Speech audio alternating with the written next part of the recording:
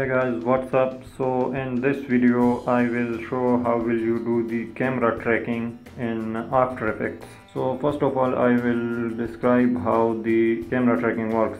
Camera tracking actually means to find out at which path the camera has uh, moved along the video. It is actually used to insert some 3D objects in a real video. You just record a video and then find out the path of the camera and so then you can insert the 3D objects in the video and that looks cool. So let's start and you will get the point. Okay so here we go. So first of all I open the After Effects software okay and here is the video so I just drag it into the After Effects here it is. You can drag it. You can drag the slider and uh, it will play the video. Now you don't need to do anything else just right click on this here and click on track camera. That's it and it will automatically start the tracking. Here you can see it says step 1 of 2 and here you can see the progress of this step. Okay so it will take some time depending on the length of the video the duration of the video. And also it is necessary that video must not be shaky. Here you can see the step 1 is completed and now it says solving camera which means that it will now place a camera in the scene and that camera will move exactly the same way as the real camera has moved in the real video.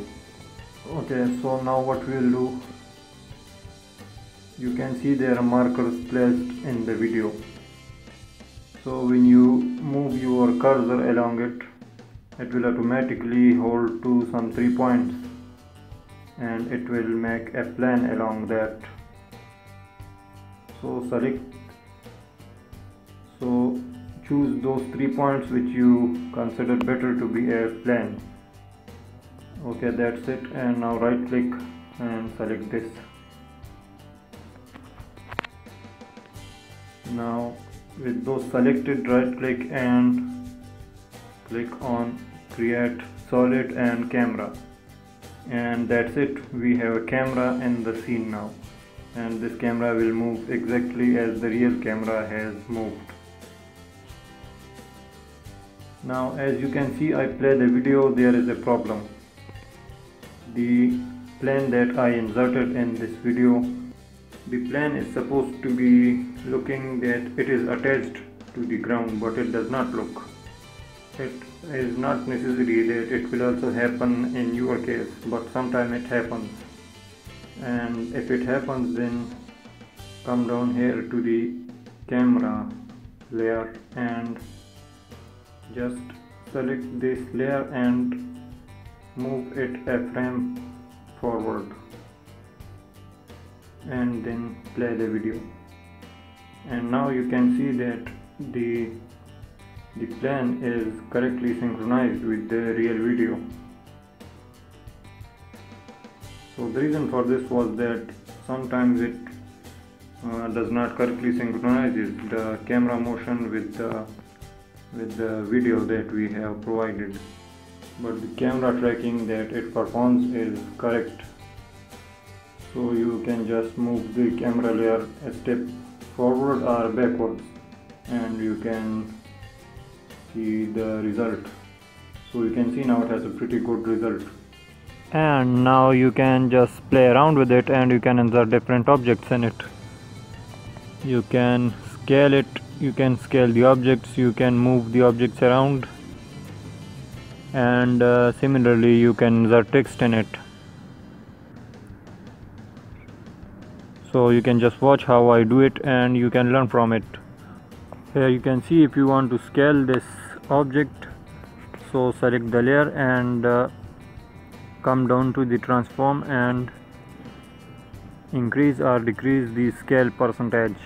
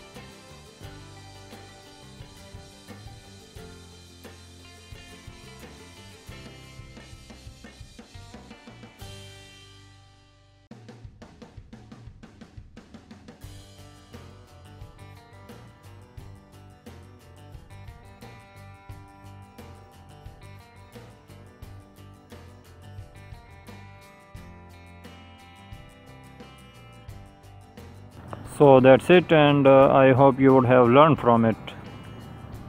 And uh, make sure to check out on my other videos some short movie stuff and other tutorials if you are interested in those.